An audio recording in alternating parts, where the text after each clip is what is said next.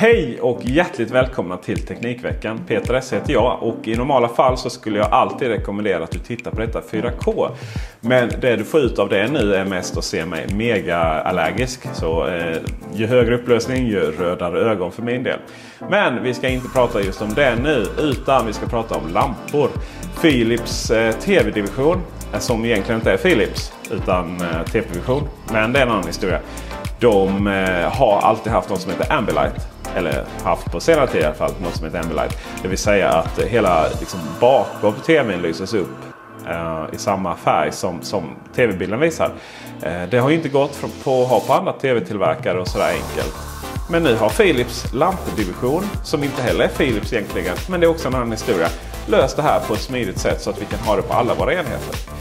Det börjar med att du måste förstås skaffa ett par Hue, kompatibla Hue-lampor. Uh, eh, bäst är ju Lightstrips men det går även att ha eh, Hue Bloom och de här som liksom lyser upp uh, på ett annat sätt. Sen så måste du ha Hue-appen. Det har du förstås alltid när du ska konfigurera lampor. I den ställer du in dina så kallade Entertainment Area.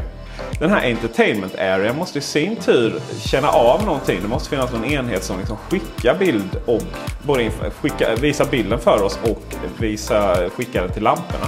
Och just nu så finns det egentligen bara på två sätt varav den ena är eh, på datorn. Så eh, Philips har precis släppt Hue Sync. Så eh, installera programmet, säg vad du vill göra, om du vill spela, titta på film och så vidare. Och sen ligger den där i bakgrunden och skickar informationen och synkronisera ihop lamporna med bilden. Så ja, det funkar ju strålande här att sitta och spela till exempel ehm, i alla spel. Men vill du också titta på film på TV med samma möjlighet till eh, bakgrundsljus så får du helt enkelt koppla in din dator. Ehm, Mac Mini passar ju alldeles utmärkt men det finns ju många små PC-burkar också för ändamålet. Svårare än så här är det egentligen inte. Det, du, det vi vill se i framtiden är förstås att det finns att installera på våra spelkonsoler. Xbox, Playstation, våra andra enheter såsom Android TV, eh, Apple TV gärna såklart.